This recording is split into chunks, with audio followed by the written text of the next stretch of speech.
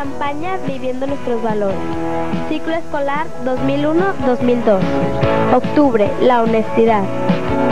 La honestidad es parte de mi vida y la demuestro diciendo siempre la verdad, entregando en casa los recados que me da la maestra.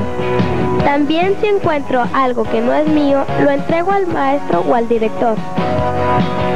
Y hay que admitir nuestros errores cuando los hayamos cometido. Recuerda que es mucho más fácil construir la confianza que reconstruirla cuando hemos sido deshonestos. Gobierno del Estado. Secretaría de Educación, Nuevo León a pasos firmes.